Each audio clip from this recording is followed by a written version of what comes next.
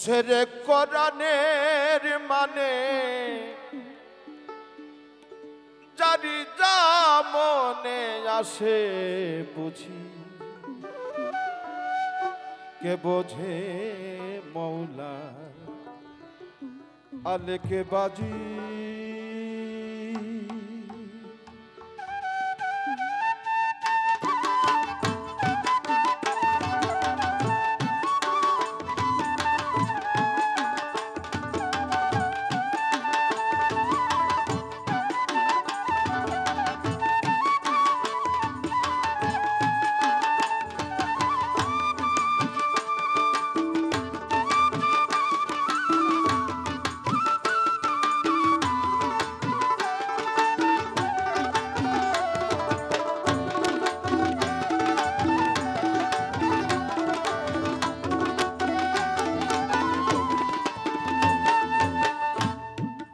অনেকে বলেন যে লালন ফকিরের গান একটু আদি ঢঙ্গে গাও।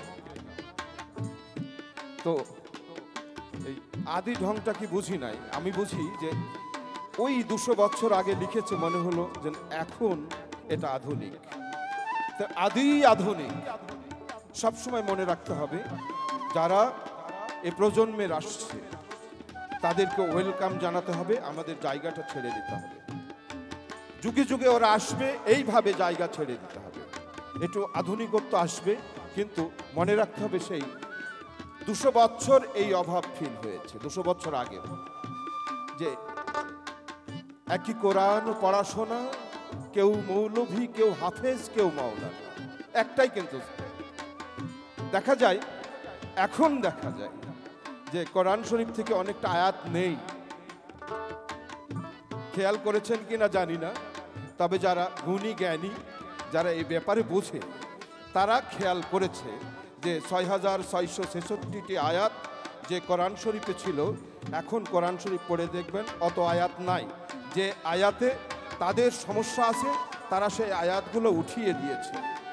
আর আমরা যাই না না, জানি না, তাই আমরা সমালোচনা করি।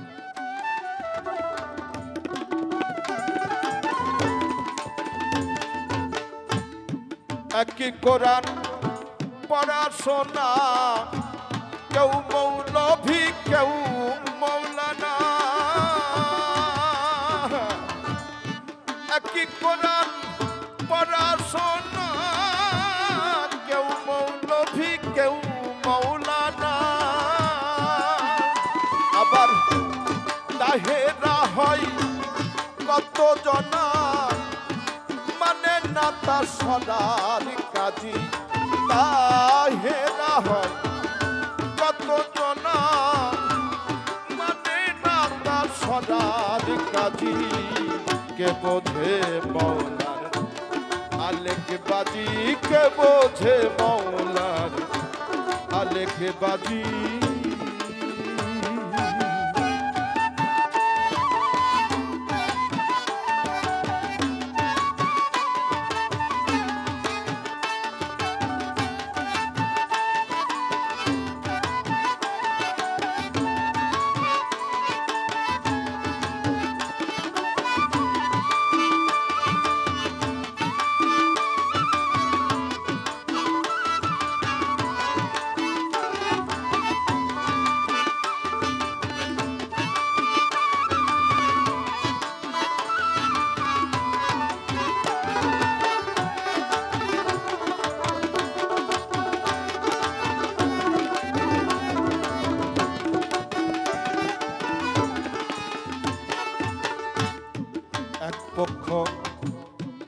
সারাক্ষণ ও বলতেই আছে যে তোমরা আখেরাতের কাজ করো।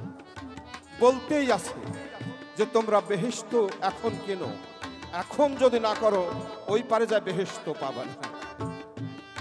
আর এক পক্ষ বলছে যে যাওয়ার পদ্ধতি তো শিখলাম না আজ পর্যন্ত। বেহেস্তে যাওয়ার পদ্ধতিটা কি? আর এক পক্ষ বলছে, আঠারো হাজার মখলুকাত তার মধ্যে এই বেহেস্ত একটা আল্লাহর সৃষ্টি। ঠিক আছে না? তো বেহেস্তের অবস্থান কোথায়? বেহেস্তের অবস্থান একদম মাঝামাঝি জায়গায়। আর মানুষের অবস্থান হলো সবার ঊর্ধ্বে। স্যার বলেছেন কথাটা। আমাদের স্যার আলোচনা করেছিলেন, জাহিদ স্যার বলেছেন। মানুষের অবস্থান হলো সবার ঊর্ধ্বে।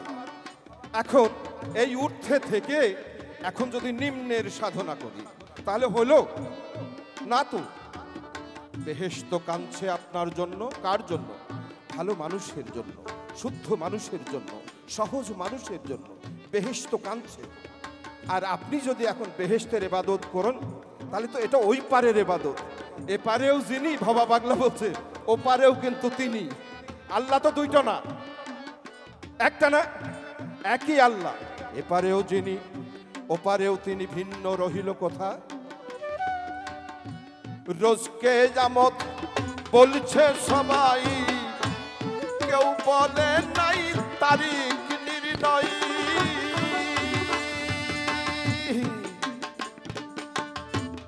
রোজকে জামত বলছে সবাই, কেউ বলে নাই তারিখ নির্ণয়।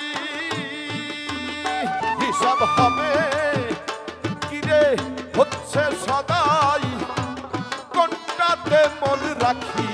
রাজি হিসাব হবে কিরে হচ্ছে সদাই। কোনটাতে মন রাখি রাজি? কে বোঝে মৌলার আলেকে বাজি? কে বোঝে মৌলার আলেকে বাজি?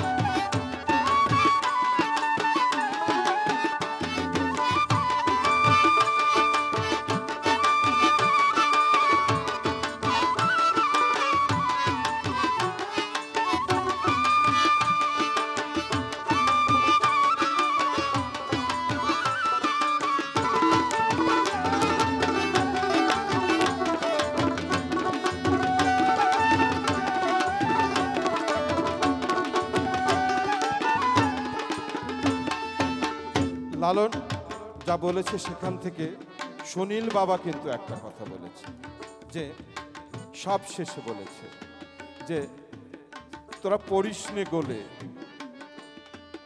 নবীর সঙ্গে ইয়ার ছিল চারিজন, চারকে দিলেন নবী চার মত যাজন। নবী বিনে পথে, গোল হলো চার মতে, লালন বলে যেন সে গোলে পড়িস একমত বলছে মলে যান, দিল্লির সিঞ্চিনি রাই যতদিন রোজ হিসাব না হয়।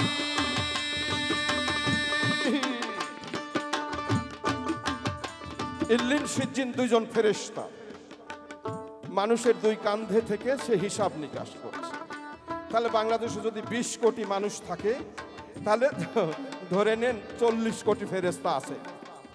সারা বিশ্বে যদি যত কোটি মানুষ আছে, তার দ্বিগুণ ফেরেস্তা আছে। হিসাব করা। আরে বাবা। বলে যান যত দিন রোজ হিসাব না হয়। বলে যান যত দিন রোজ হিসাব না হয়। আবার কেউ বলে যান, ফিরে জন্মায় আরেকজন বলছে, মানুষের যতক্ষণ মুক্তি না হবে, ততক্ষণ বারবার পুনর্জন্ম হবে। স্যার এ কথাও বলেছেন। হ্যাঁ চৌরাশি, ফের পড়তে হবে। আবার কেউ বলে যান, ফিরে জন্মাই। দিল্লিন সিদ্দিন কোথায়? আবার কেউ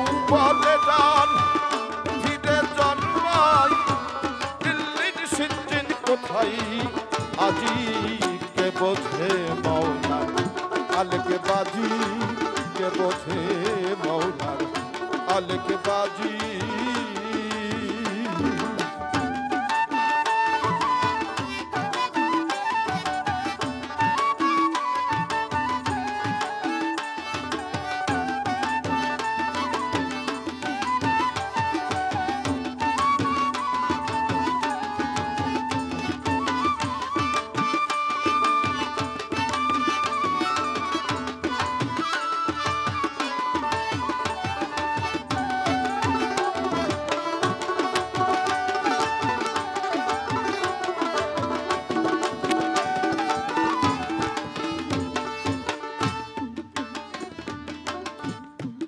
এক বিধান শুনিতে পাই, এক গৌর মানুষের মরণ নাই। এক গৌর মানুষ আছে, সে মরবে না।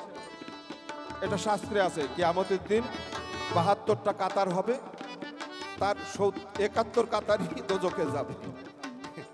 এক ফেরকা শুধু বেহেশতে যাবে। আর এখানে বলছে যে, এক গৌর মানুষের মরণ নাই। এরা আবার কারা গো? এটা কারা? এক গৌর মানুষের মরণ নাই। সেই খোলাফাই রাশিদিন আমল থেকে শুনছি যে একজনের কথা ভেসে আসে। আল্লাহ রসুল নবী অলিয়াউলিয়া গাউস কুতুব, পীর পাইকম্বর পীর মাসায়েক এর মধ্যে ভেসে আসে একটা সুফি শব্দ, সেটা হলো মাওলানা জালালউদ্দিন রুমি, এখনও মানুষের মধ্যে জীবিত। রবীন্দ্রনাথ জীবিত আমাদের দেশে, দুই দেশে, সারা বিশ্বে, বিশ্বকবি যেহেতু, নজরুল জীবিত, লালন জীবিত, সকল মহাজন জীবিত। এই হলো এক ফেরকা, এরা মরবে না। আমার পরে যারা আসবে, তারাও বাঁচিয়ে রাখবে, যুগে যুগে। পরে যারা আসবে না, তারা আরও আধুনিকভাবে বাঁচাবে। কেউ আঘাত করে কথা বলো না গো। এই প্রজন্মের ছেলেরা অত্যন্ত মেধাবী এবং সাহসী। আমাদের মতো মূর্খ না। তারা লেখাপড়া শিখে বাউল হচ্ছে।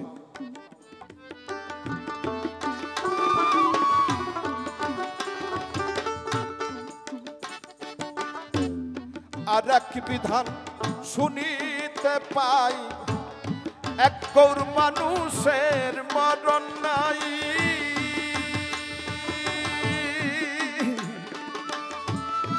আর এক বিধান শুনিতে পাই, এক গৌর মানুষের মরণ নাই।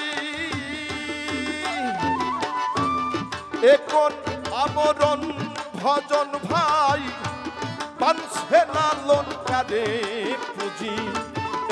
এখন আমরণ ভজন ভাই পানছে লালন কারে পুঁজি।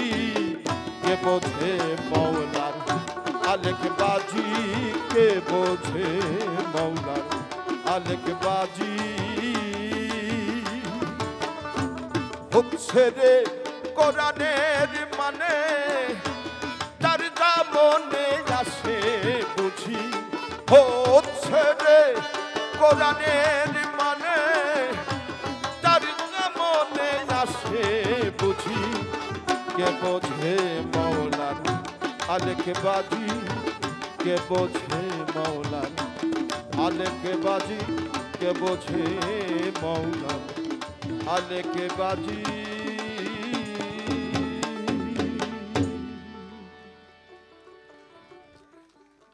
আমি দুঃখিত।